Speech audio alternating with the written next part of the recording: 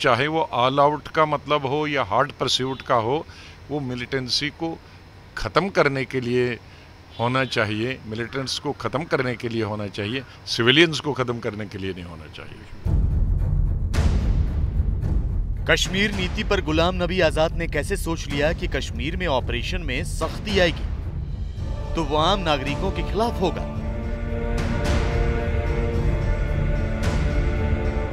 Governor rule का मतलब सुरक्षा बलों को फ्री हैंड का मतलब गुलाम नबी आज़ाद जैसे सीनियर नेता यही निकाल पाए।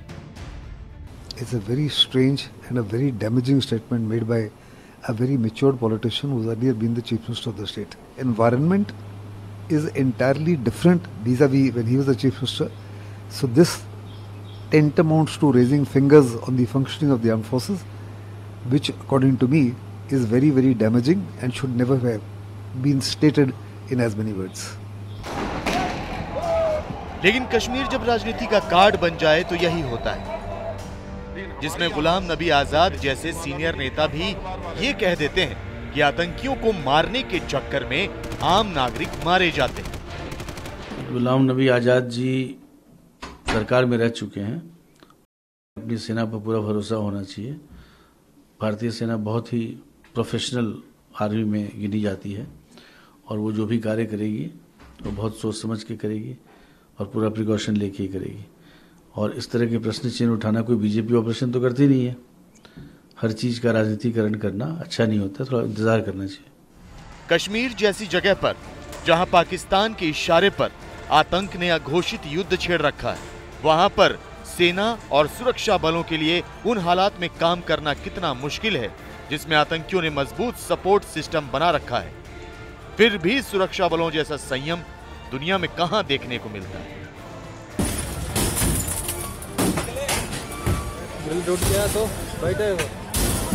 हाँ?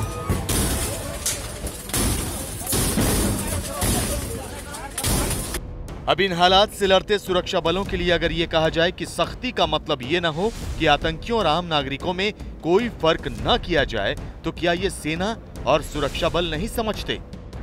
नेता ये सवाल ज़रूर उठा सकते हैं कि सख्त नीति से कश्मीर सूझेगा या नहीं।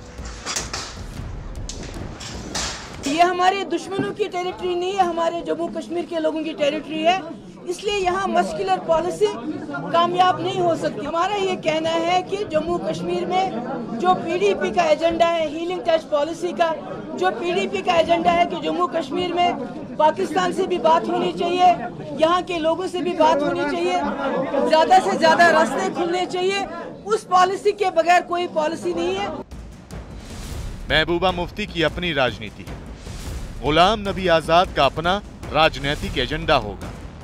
बीजेपी को अपना कश्मीर कार्ड खेलना है। ये राजनीति चलती रहेगी, लेकिन इनके बीच सुरक्षा बलों के ऑपरेशन और उनकी नीयत पर सवाल उठाना ये कितना सही है? आज तक ब्यौरा।